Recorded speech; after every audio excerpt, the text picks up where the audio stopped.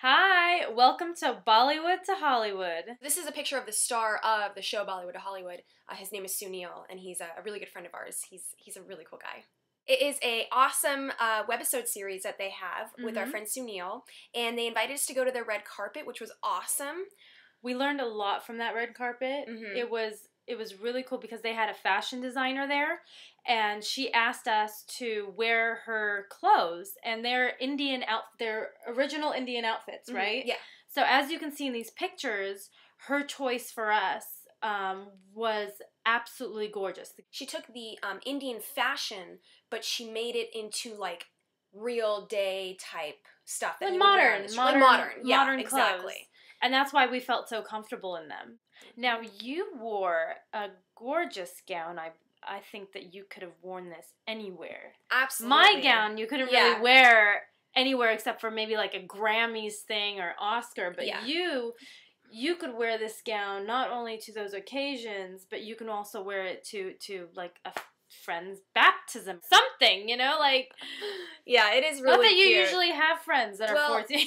yeah, this dress was obviously Indian inspired, and the designer did a wonderful job with it. And you're right, it is something that could be worn anywhere, um, not just at an Indian type red carpet. So that was really nice, and it, it had a really great feel to it. It was very sparkly. Um, I really enjoyed wearing it.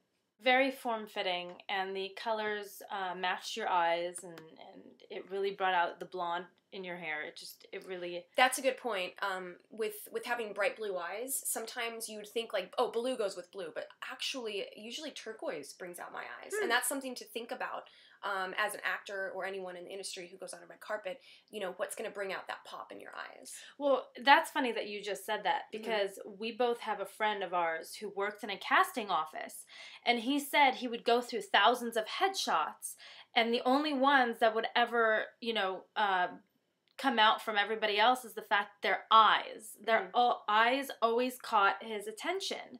So you always want to compliment your eyes and have your your what you're wearing just uh, I think match. Yeah. The one thing that I liked about the outfit that the designer chose for me was the fact that it kind of had a cape.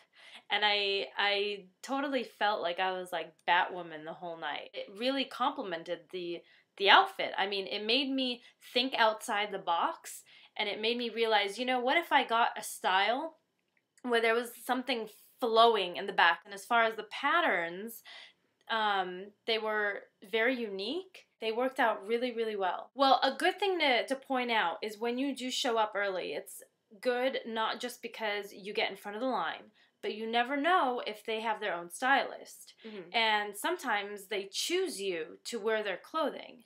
And that's always like a compliment. You know, you should always be happy that you're chosen. And that way you have time to get your your hair done and the makeup and the uh, outfit. For this one, I think we showed up hair and makeup ready, knowing in advance we were going to have an outfit, but we didn't That's know right. we didn't know what it was going to be. So Yeah. literally, there's like 20 women in a room, all like trying on different clothes, and um, but we managed to find those ones, and they were really cute. She, the designer had brought a whole different bunch of different options. We had a lot of fun wearing her clothing, getting on the red carpet, getting the pictures taken, and then mingling with the guests. Because this was a, a charity fundraiser, I believe. Um, yeah, it was. Uh, this was one of those ones where everyone showed up for the red carpet and for supporting of the Bollywood to Hollywood series. But then they had like a um, silent auction and a regular auction. Oh my god, the stuff on the and- auction table was Yeah, was you wouldn't even believe. They had like autographed, framed things from like Billie Holiday and and all these old Mhm. movie stars. I mean, it was just I wanted them all. So that's all for today. All right, guys. See you next time. Mwah.